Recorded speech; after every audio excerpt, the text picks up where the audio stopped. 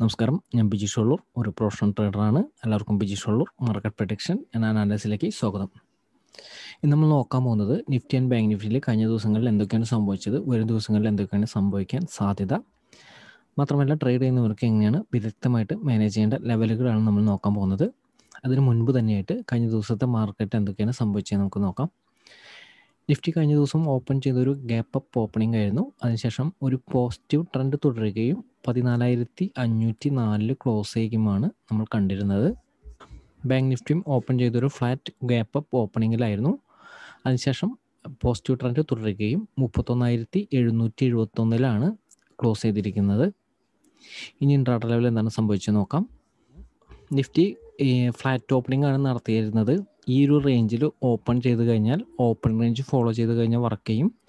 പക്ഷേ നിഫ്റ്റിക്കായാലും തുടർച്ചയായിട്ടുള്ള റെസിസ്റ്റൻസുകളുണ്ട് പതിനാലായിരത്തി നാനൂറ്റി മുപ്പതിന്റെ അടുത്താണ് നമ്മൾ റെസിസ്റ്റൻസ് പറഞ്ഞിരുന്നത്. ഈ റെസിസ്റ്റൻസ് ഏരിയയിൽ നിന്ന് ഷോർട്ട് സെല്ലിന്റെ ഒരു ഓപ്പർച്യൂണിറ്റി വന്നു കഴിഞ്ഞാൽ നിർബന്ധമായിട്ടും ഫോളോ ചെയ്യാനാണ് പറഞ്ഞിരുന്നത്. ഈ റേഞ്ചിൽ നിന്ന് അത്യാവശ്യം നല്ലൊരു പ്രോഫിറ്റ് കിട്ടുന്ന ഒരു ഷോർട്ട് സെല്ലിന്റെ ഒരു ഓപ്പർച്യൂണിറ്റിയാണ് മാർക്കറ്റിൽ നമുക്ക് ലഭിച്ചത്. അതിനുശേഷം ഈ ഒരു റെസിസ്റ്റൻസും ബ്രേക്ക് ചെയ്ത് ബൈ ട്രെൻഡിലാണ് നിലനിന്നിരുന്നത്. പതിനാലായിരത്തി അഞ്ഞൂറ്റി മുപ്പതായിരുന്നു അടുത്തൊരു റെസിസ്റ്റൻസ്. ആ ഒരു റെസിസ്റ്റൻസിന് അടുത്താണ് നിഫ്റ്റി ക്ലോസ് ചെയ്തിരിക്കുന്നത്. കൃത്യമായിട്ട് ആ പറഞ്ഞിരിക്കുന്ന ലെവലുകൾ ഫോളോ ചെയ്തവർക്ക് അത്യാവശ്യം നല്ലൊരു പ്രോഫിറ്റ് ആണ് നിഫ്റ്റിയിൽ കഴിഞ്ഞ ദിവസം ഇൻട്രാഡയിൽ ലഭിച്ചിരുന്നത്. പ്രോഫിറ്റ് എടുത്തവർ കമന്റ് ചെയ്യുക. ബാങ്ക് നിഫ്റ്റിയും ഈ ഒരു റേഞ്ചിൽ ഓപ്പൺ ചെയ്ത് കഴിഞ്ഞാൽ ഓപ്പൺ റേഞ്ച് ഫോളോ ചെയ്യാനാണ് പറഞ്ഞിരുന്നത്. കൃത്യമായിട്ട് ഒരു ബൈട്രനിൽ തന്നെയാണ് നിലനിന്നിരുന്നത്. പക്ഷേ മുപ്പത്തൊന്നായിരത്തി നാനൂറാണ് നമ്മൾ റെസിസ്റ്റൻസ് പറഞ്ഞിരുന്നത്. ഈ റെസിസ്റ്റൻസ് ഏരിയയിൽ നിന്ന് ഈ റെസിസ്റ്റൻസ് ഏരിയന്റെ അടുത്ത് നിന്ന് ഷോർട്ട്സിന്റെ ഒരു ഓപ്പർച്യൂണിറ്റി വന്നു കഴിഞ്ഞാൽ യൂട്ടിലൈസ് ചെയ്യാനാണ് നമ്മൾ നൽകിയിരുന്നത്. പക്ഷേ ഈ ഒരു ഓപ്പർച്യൂണിറ്റി വലിയ രീതിയിൽ ബാങ്ക് നിഫ്റ്റി താഴത്തേക്ക് വരാൻ സാധിച്ചില്ല. അതിനുശേഷം ഈ ഒരു റേഞ്ച് ബ്രേക്ക് ചെയ്തു. മുപ്പത്തൊന്നായിരത്തി നാനൂറ് എന്ന് പറയുന്ന റെസിസ്റ്റൻസ് ലെവൽ ബ്രേക്ക് ചെയ്ത് ഒരു പോസിറ്റീവ് ട്രെൻഡിലാണ് ബാങ്ക് നിഫ്റ്റി ക്ലോസ് ചെയ്തിരിക്കുന്നത്. വരും ദിവസത്തിൽ നിഫ്റ്റിയുടെ എക്സ്പയറിയാണ് പതിനാലായിരത്തി നാനൂറ്റി മുപ്പത് എന്ന് പറയുന്ന ഒരു റെസിസ്റ്റൻസ് ബ്രേക്ക് ചെയ്തു. പതിനാലായിരത്തി അഞ്ഞൂറ്റി മുപ്പത് എന്ന് പറയുന്ന ഒരു റെസിസ്റ്റൻസിന്റെ അടുത്താണ് നിലനിൽക്കുന്നത്. അതുകൊണ്ട് രണ്ട് സൈഡിലേക്കുള്ള ഒരു മൂവ്മെന്റ് ഉള്ളൊരു സാധ്യതയുണ്ട്. മുകളിലേക്കായാലും ഷോർട്ട് സെൽ അതായത് ഷോർട്ട് സെന്റെ ഒരു ഓപ്പർച്യൂണിറ്റി വന്നാലും ബൈര ഒരു ഓപ്പർച്യൂണിറ്റി വന്നാലും യൂട്ടിലൈസ് ചെയ്യണം. പക്ഷെ ശ്രദ്ധിക്കുക മുൻപത്തെ ദിവസങ്ങളിൽ നമ്മൾ ഒരു കാരണവശാലും ബൈര പൊസിഷൻ എടുക്കരുത് എന്ന് പറഞ്ഞത് നിഫ്റ്റി അതിന്റെ ഒരു ഹയർ ലെവലിൽ നിൽക്കുന്നത് കൊണ്ടാണ്. കഴിഞ്ഞ വീക്കിൽ പോലും ചെയ്യാവുന്ന ഒരു സ്ട്രാറ്റജി പോലും പറഞ്ഞിരിക്കുന്നത് ഹയർ ലെവലിൽ നിന്ന് ഒരു ഷോർട്ട് സെന്റെ ഒരു ഓപ്പർച്യൂണിറ്റി യൂട്ടിലൈസ് ചെയ്യലാണ്. ആ ഒരു ഹയർ ലെവലിൽ എത്തിയത് കൊണ്ട് മാത്രമാണ് നമ്മൾ ഒരു കാരണവശാലും ബൈ പൊസിഷൻ എടുക്കരുതെന്ന് പറഞ്ഞിരിക്കുന്നത് വലിയൊരു ഫാൾ വരാൻ സാധ്യതയുണ്ട്. പക്ഷേ ഈ ഒരു റേഞ്ചിലൊക്കെ എത്തിയതിന് ശേഷം നിഫ്റ്റി ആയാലും നമ്മൾ ഈ ഒരു റേഞ്ചിൽ ഹോൾഡ് ചെയ്യുകയാണെങ്കിൽ ബൈ പൊസിഷൻ എടുക്കാമെന്നാണ് നമ്മൾ പറഞ്ഞിരുന്നത്. ഇപ്പോൾ വരും ദിവസങ്ങളിലായാലും ട്രെൻഡ് ഏത് സൈഡിലേക്ക് പോയാലും ആ രണ്ട് സൈഡിലേക്കും നിലനിൽക്കേണ്ടതായിട്ട് വരും. കാരണം പതിനാലായിരത്തി നാനൂറ്റി മുപ്പത് എന്ന് പറയുന്ന റെസിസ്റ്റൻസ് പതിനാലായിരത്തി അഞ്ഞൂറ് എന്ന് പറയുന്ന റെസിസ്റ്റൻ റെസിസ്റ്റൻസും ബ്രേക്ക് ചെയ്തുകൊണ്ടാണ് നിഫ്റ്റി നിലനിൽക്കുന്നത്. പക്ഷേ ഹയർ ലെവൽ എപ്പോഴും ആ ഒരു പ്രോഫിറ്റ് ബുക്കിങ്ങിന്റെ സാധ്യത മാർക്കറ്റിൽ വരും. അപ്പോൾ അതുകൊണ്ട് തന്നെ നിഫ്റ്റി ഓപ്പൺ ചെയ്യുന്നത് ഈ ഒരു റേഞ്ചിലാണ് പതിനാലായിരത്തി അഞ്ഞൂറ് അഞ്ഞൂറ്റി മുപ്പത് ഈ റേഞ്ചിലാണെങ്കിൽ ഈ ഒരു റേഞ്ച് ബ്രേക്ക് ചെയ്തിട്ട് മുകളിലേക്ക് പോവുകയാണെങ്കിൽ ബൈ ട്രെൻഡിൽ നിലനിൽക്കുക.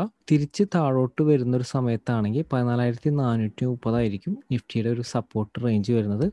ഈ ഒരു സപ്പോർട്ട് റേഞ്ച് തിരിച്ച് ഹോൾഡ് ചെയ്യുകയാണെങ്കിൽ ബൈ ട്രെൻഡിൽ നിലനിൽക്കുക.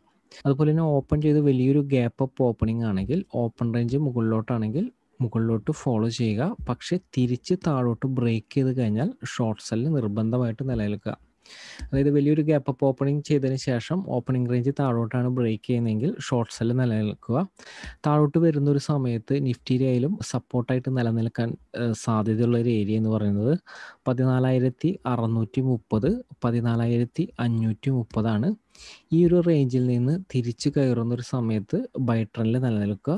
അതുപോലെ തന്നെ ബാങ്ക് നിഫ്റ്റിയിലും ഓപ്പൺ ചെയ്ത ഒരു ഫ്ലാറ്റ് ഓപ്പണിംഗ് ആണെങ്കിൽ ഓപ്പൺ റേഞ്ച് ഫോളോ ചെയ്യുക. ഓപ്പൺ റേഞ്ച് മുകളിലോട്ടാണെങ്കിൽ മുകളിലോട്ട് ഫോളോ ചെയ്യുക. തിരിച്ച് താഴേക്ക് ബ്രേക്ക് ചെയ്ത് കഴിഞ്ഞാൽ ഷോർട്ട് സെല്ല് നിലനിൽക്കുക. താഴോട്ട് വരുന്ന ഒരു സമയത്ത് ബാങ്ക് നിഫ്റ്റിയുടെ ആയാലും മേജർ സപ്പോർട്ടായിട്ട് നിലനിൽക്കാൻ സാധ്യതയുള്ള ഏരിയ എന്ന് പറയുന്നത് മുപ്പത്തൊന്നായിരത്തി നാനൂറാണ് ഈ മുപ്പത്തൊന്നായിരത്തി നാനൂറ് തന്നെയാണ് നമ്മൾ കഴിഞ്ഞ ദിവസത്തിൽ പറഞ്ഞിരിക്കുന്ന റെസിസ്റ്റൻസ് ഏരിയ ആ ഒരു റെസിസ്റ്റൻസ് ഏരിയനെ ബ്രേക്ക് ചെയ്തുകൊണ്ടാണ് നിൽക്കുന്നത്. അതുകൊണ്ട് തന്നെ ബാങ്ക് നിഫ്റ്റി ആയാലും ഹയർ ലെവലിൽ നിന്ന് ഷോർട്ട് സെല്ലിന്റെ ഒരു ഓപ്പർച്യൂണിറ്റി വന്നു കഴിഞ്ഞാൽ യൂട്ടിലൈസ് ചെയ്യുക സപ്പോർട്ട് ലെവലിൽ നിന്ന് ഒരു ബൈ ഒരു ഓപ്പർച്യൂണിറ്റി കിട്ടി കഴിഞ്ഞു കഴിഞ്ഞാൽ യൂട്ടിലൈസ് ചെയ്യാൻ ശ്രമിക്കുക. ഓപ്പൺ ചെയ്യുന്നത് വലിയൊരു ഗ്യാപ്പ് അപ്പ് ഓപ്പണിംഗ് ആണെങ്കിൽ ഈ ഒരു റേഞ്ചിൽ നിന്ന് ഓപ്പണിംഗ് റേഞ്ച് ഫോളോ ചെയ്യുക. മുകളിലോട്ടാണെങ്കിൽ മുകളിലോട്ട് ഫോളോ ചെയ്ത് കഴിഞ്ഞാൽ തിരിച്ച് താഴോട്ട് ബ്രേക്ക് ചെയ്യുമ്പോൾ നിർബന്ധമായിട്ടും ഷോർട്ട് സെല്ല് നിലനിൽക്കുക. തിരിച്ച് താഴോട്ട് വരുന്നൊരു സമയത്ത് നിഫ്റ്റി ആയാലും സപ്പോർട്ടായിട്ട് നിലനിൽക്കാൻ സാധ്യതയുള്ള ഏരിയ എന്ന് പറയുന്നത് മുപ്പത്തൊന്നായിരത്തി നാനൂറ് റേഞ്ചാണ് ഈ മുപ്പത്തൊന്നായിരത്തി നാനൂറ് റേഞ്ച് ഹോൾഡ് ചെയ്യുകയാണെങ്കിൽ എപ്പോഴും ബൈ ബൈട്ടണിൽ നിലനിൽക്കുക. വരും ദിവസങ്ങളിലായാലും നിഫ്റ്റിയിലായാലും ബാങ്ക് നിഫ്റ്റിയിലും എക്സ്പയറി ആണ്. പക്ഷേ നിഫ്റ്റിയിലും ബാങ്ക് നിഫ്റ്റിയിലും ഇപ്പോൾ നിൽക്കുന്ന ഒരു സിറ്റുവേഷൻ അനുസരിച്ച് എക്സ്പയറിയുടെ ഒരു പ്രഡിക്ഷൻ നൽകാൻ ബുദ്ധിമുട്ടാണ്. നമ്മൾ എല്ലാ ആഴ്ചയിലും എക്സ്പയറിയുടെ പ്രഡിക്ഷൻ നൽകാറുണ്ട്. രണ്ട് സൈഡിലേക്കും ഒരു സാധ്യത ഉള്ളതുകൊണ്ട് മാത്രമല്ല ഇന്നലെ മാർക്കറ്റ് ഹോൾഡ് ആയതുകൊണ്ട് തന്നെ ഒരു കൃത്യമായിട്ടുള്ളൊരു ഡയറക്ഷൻ നമുക്ക് ഏതൊരു റേഞ്ചിൽ ക്ലോസ് ചെയ്യും എന്നുള്ളത് നമുക്കത് പറയാൻ പറ്റില്ല. പക്ഷേ ഈ ഒരു റേഞ്ച് പതിനാലായിരത്തി നാനൂറ്റി മുപ്പത് ബ്രേക്ക് ചെയ്തുകൊണ്ട് നിൽക്കുന്നത് കൊണ്ട് തന്നെ ആ ഒരു പോസിറ്റീവ് ട്രെൻഡ് ചിലപ്പോൾ നിലനിൽക്കാം. പക്ഷേ ഹയർ ലെവലിൽ നിന്ന് ഒരു പ്രോഫിറ്റ് ബുക്കിംഗ് വരാനും സാധ്യതയുണ്ട്.